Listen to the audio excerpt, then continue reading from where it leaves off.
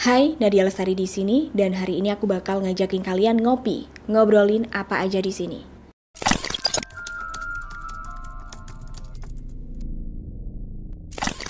Kalau di salah satu videoku yang lalu aku sempat membahas rumah sakit terangker di Indonesia. Nah, kali ini aku juga bakal membahas satu bangunan yang biasanya juga banyak cerita-cerita mistisnya. Sekolah. Tapi bukan sekolah ya, ini kampus atau universitas. Jadi di video kali ini aku akan bercerita tentang cerita seram di tiga kampus angker di Indonesia. Sebenarnya banyak cerita-cerita seram dari kampus-kampus angker di Indonesia. Hampir semua kampus punya cerita angker. Tapi ini aku ambil tiga terseram buat kalian.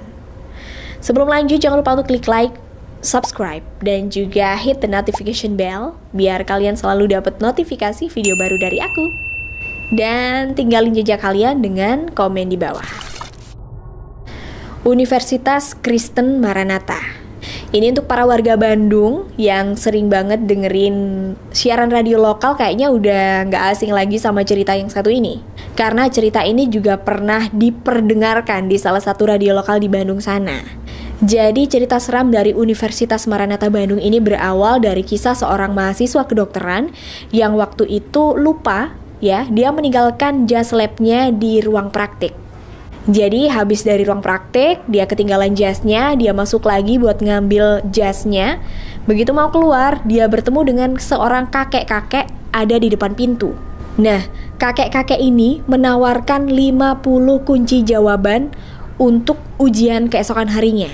Jadi tanpa pikir panjang, cowok ini pun langsung mengambil catatan dan mencatat semua kunci jawabannya. Keesokan harinya ketika ujian, ya memang jawabannya tepat semua, tapi ada satu kejadian yang bikin jantungnya hampir terhenti. Karena dia kembali bertemu dengan kakek itu. Tapi bukan bertemu secara langsung.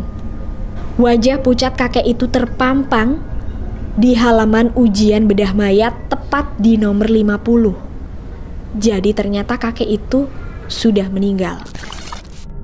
Institut Pertanian Bogor. Nah, cerita kedua ini datang dari IPB, jadi ada sekumpulan mahasiswa yang mereka itu tinggalnya kayak di asrama ya atau uh, rusunawa kayak gitu ya. Kalau asrama gitu kan tingkat-tingkat tuh. Nah, mereka tinggal di situ. Kemudian suatu malam mereka ini asik banget main Uno. Tahu kan permainan Uno? Lagi asik-asiknya main Uno, mereka ini sampai lupa waktu, sampai tengah malam. Gak terasa waktu udah menunjukkan pukul 12 malam lebih. Di tengah asiknya main Uno, karena jam segitu mereka asik main Uno, Tiba-tiba jendela kamar mereka diketuk oleh seseorang.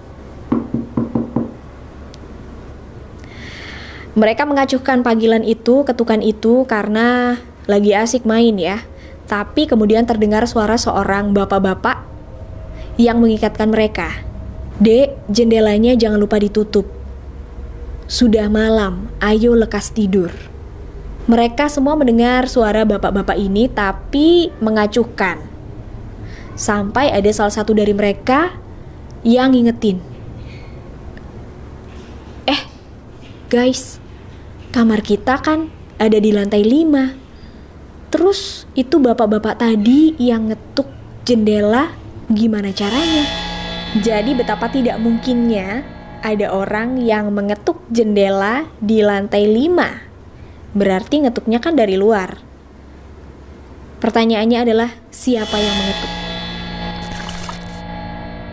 Universitas Diponegoro. Nah ini buat kamu teman-teman yang rumahnya di Semarang atau sekitarnya boleh lah ya sekali-sekali lewat ke Undip dan mampirlah ke ruang B101 di kawasan pembelajaran Universitas Diponegoro Semarang. Kenapa? Karena kabarnya di tempat inilah Mbak K atau Mbak Kunti berkeliaran. Jadi di sana udah terkenal banget kalau ada Mbak Kunti yang berkeliaran di ruangan ini. Dan Mbak Kunti ini akan menakuti siapa pun yang melewati rumahnya di malam hari. Sampai suatu hari ada kejadian. Jadi ada satu kelas yang kena kelas malam atau ada kelas malam gitu ya. Para mahasiswanya udah menunggu di kelas, kemudian datanglah ibu dosen yang mengajar hanya beberapa menit saja Kemudian Bu dosen ini keluar lagi. Lama para mahasiswa ini nunggu kan, akhirnya salah satu dari perwakilan mahasiswa itu berinisiatif untuk menghubungi dosen ini.